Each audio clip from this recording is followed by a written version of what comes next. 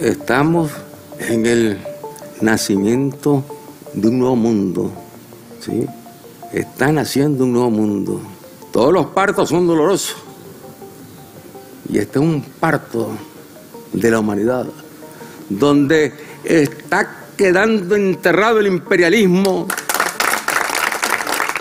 y están haciendo, están haciendo la democracia con lo que el multilateralismo, los pueblos, los pueblos creciendo, fortaleciéndose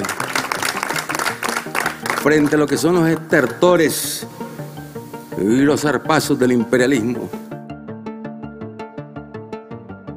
Hoy, Día del Padre, ¿quién más que el gran, más grande Padre que ha tenido la humanidad, que tenemos todos, Cristo, dando su vida por el pueblo, por los pobres, por los humildes, siendo insultado, calumniado por los falsos sacerdotes que están en los templos, que eran los que tenían la legitimidad.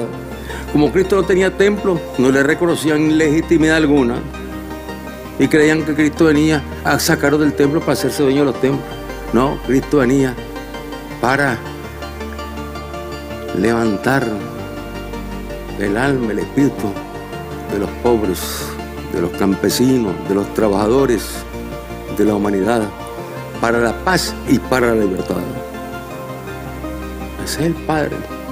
Padre nuestro que estás en los cielos. Padre nuestro que estás en los cielos.